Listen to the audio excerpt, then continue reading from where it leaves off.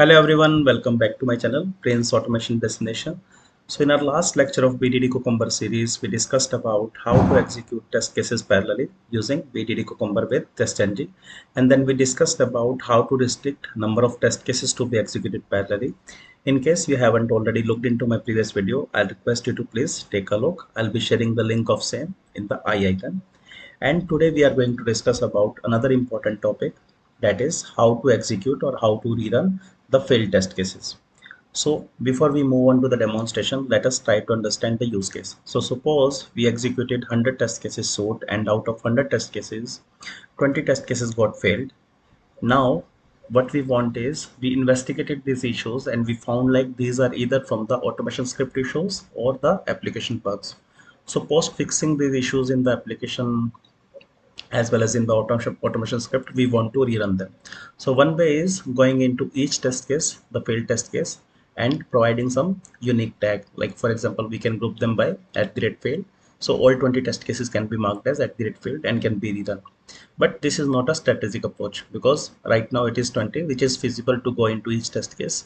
But tomorrow for example we got 50 test cases as failure then it become impractical to go into each test case and change the tag right so to overcome that, there are two default in inbuilt mechanism in Cucumber as well as TestNG. This is what we are going to cover today. So let us jump on to the demonstration part.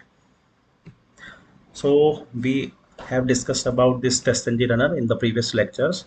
So if you notice in the Cucumber option section, we have this plugin option.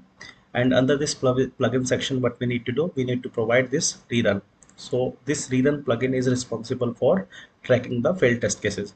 Along with this rerun we need to provide the location where we want to track the failed test cases.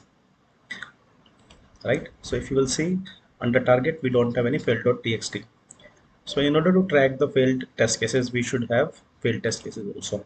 So for that what we are going to do so we have one Google dot feature, which we have covered which we have used in the previous lectures.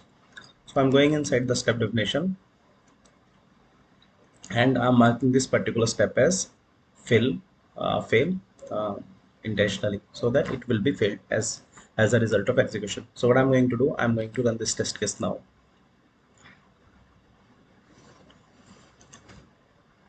So what will happen this test case will be executed and we will get the test case status as failure and it will lead to generate one fail.txt under target so we see that this test case got failed due to assertion error and we see that failed.txt also got generated.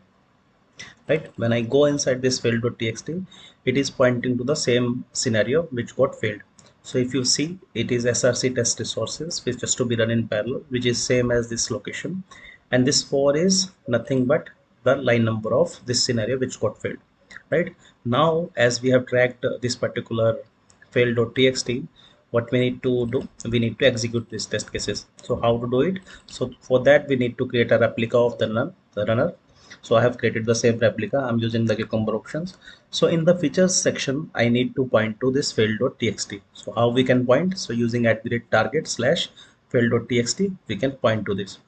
Now before execution what we need to do? I'm going into google.feature and i'm going to fix this issue. Right now when I will execute this test case using failed runner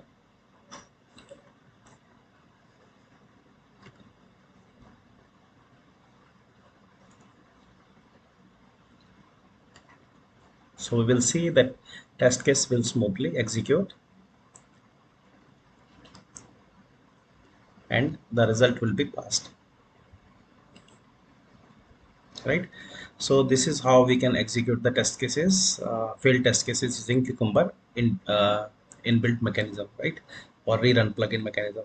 Now next we are going to discuss about the inbuilt mechanism of testng because we are using the testng based tunnel.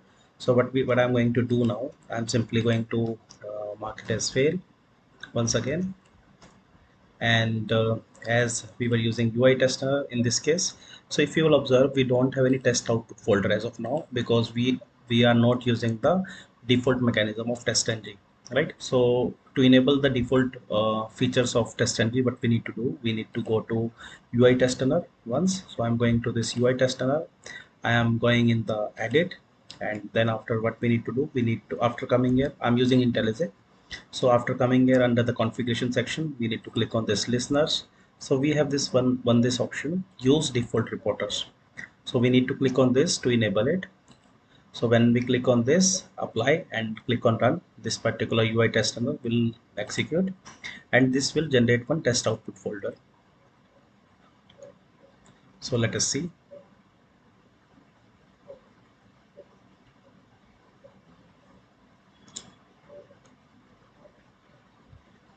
so we see that uh, test case is getting executed and it will be failed as well because this is the expectation. And uh, we have intentionally made as false uh, made made it as a failure. So we see that this test case got failed and we see that test output also got generated.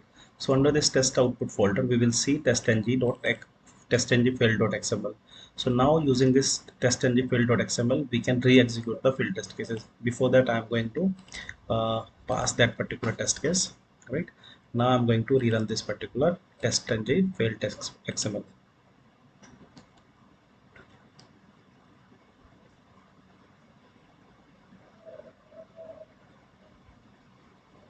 so we see that uh, this is executing from this location and uh, in this case test case will be executed smoothly without any failure. So this is how we can execute the failed test cases using cucumber as well as testng default behavior in bdd and in the next lecture we are going to cover about iretry analyzer what is the purpose of using iretry analyzer and how it is different from the current mechanism that we have discussed for the failed test cases. So this is uh, what i wanted to cover as part of current video. Thank you for watching. I would request to please like share and subscribe. Thank you